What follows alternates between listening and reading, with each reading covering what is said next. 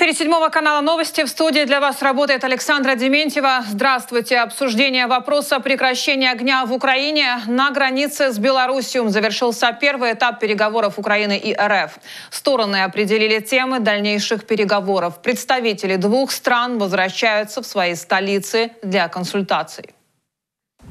Ради того, чтобы эти решения стали уже, получили, вернее, какие-то возможности имплементации в логистическое решение стороны уезжают для консультаций в столицы свои, и стороны обсудили возможность в ближайшее время проведения второго раунда переговоров, на которых эти темы получат уже конкретную э, практику развития.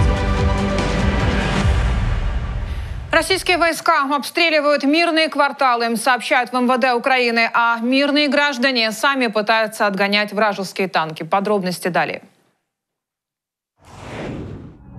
Российская армия массово обстреливает жилые кварталы Харькова ракетами. От рук оккупанта гибнет мирное население, сообщают в пресс-центре МВД Украины. По нам. По нам. І це обстріл виключно мирного міста.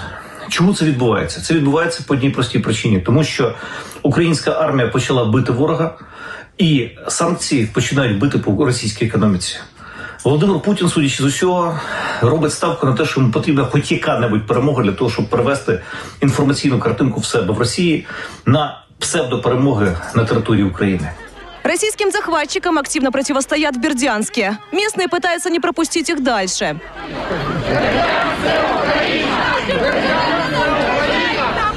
Наведите порядок у себя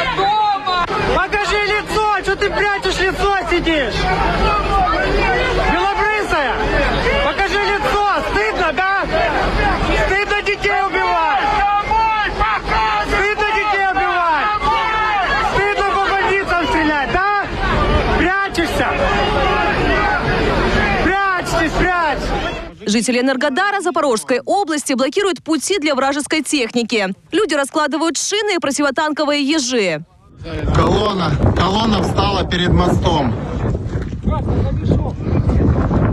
Войска РФ не оставляют попыток захватить Киев. Збройні сили України зупинили колону ворога, вулиця Вокзальна, місто Буча. Це результати їхнього вторгнення і роботи наших збройних сил. Звичайно, приватний сектор, який поруч, також отримав пошкодження, але все відбудуємо. Всі живі, всі здорові. Продолжается обстрел Чернигова. В зоне поражения жилой сектор и торговые центры.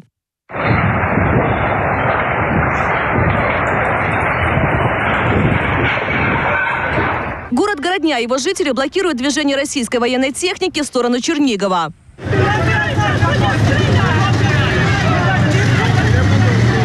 В Ахтирке Сумской области подорвали нефтебазу. Из-за обстрелов Мариуполя погиб шестилетний ребенок. А я напоминаю, скоро к украинской армии присоединится интернациональный регион. В вооруженных силах уже есть несколько тысяч заявок от иностранцев, желающих защищать Украину. Надежда Бондаренко, Юлия Лабурак, Юлия Гуд, Седьмой канал. Военнослужащие с острова Змеиный живы и находятся в плену. Об этом сообщили в командовании военно-морских сил Украины. ВМС требует от РФ немедленно освободить захваченных украинцев. Напомню, российские войска атаковали остров Змеиный вечером 24 февраля. Агрессор обстрелял заставу из корабельных орудий и использовал авиацию.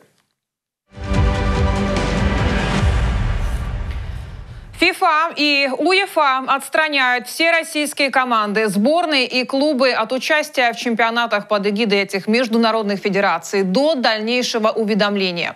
Как указано на сайте УЕФА, организации едины в этом вопросе и выражают полную поддержку людям, которые страдают в Украине. Жители столицы, которые нарушают комендантский час, будут считать диверсантами. Об этом предупредил мэр Киева Виталий Кличко. Он отметил, в это время движение на частном транспорте без спецпропуска запрещено. І ті люди, які перебувають у цей час на вулиці, будуть вважатись членами диверсійних груп. Місто живе в умовах воєнного стану.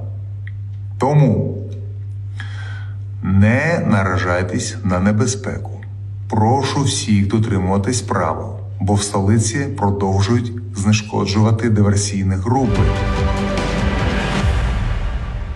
30-километровые очереди фиксируют на украино-польской границе. На главном автовокзале Кракова волонтеры развернули лагерь для беженцев. Они привозят туда еду, вещи, игрушки и зарядные устройства. Среди волонтеров граждане Польши, Белоруссии и Украины. Мы здесь пункт распределяющий, то есть мы можем здесь дать временный ночлег, если человек ожидает э, какого-то транспорта, чтобы ехать дальше.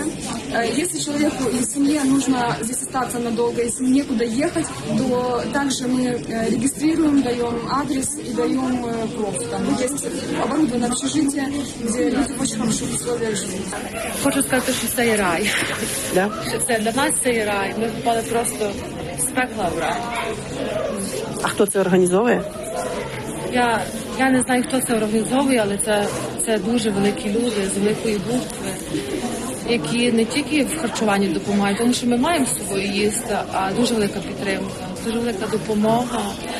І просто кожен з вас залишив роботу, навчання і, і пішов допомагати нам, Україні допомагати. Отмечу, в Польше билеты на любой транспорт украинцам дают бесплатно. Для этого достаточно показать паспорт.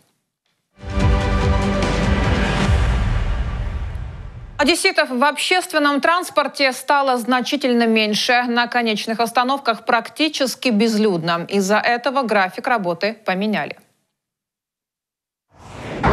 Интервал чуть больше, меньше машин на линии. Их, и их стало меньше, в общем, да, то есть маршруток ну, меньше, выходит на маршрут. человек. меньше. Меньше, вдвое меньше.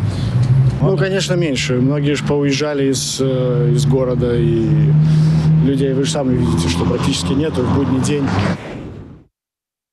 Маршруты не поменялись. Все виды транспорта курсируют, как и раньше, но в связи с комендантским часом движение начинается в 7 утра и заканчивается в 18 часов.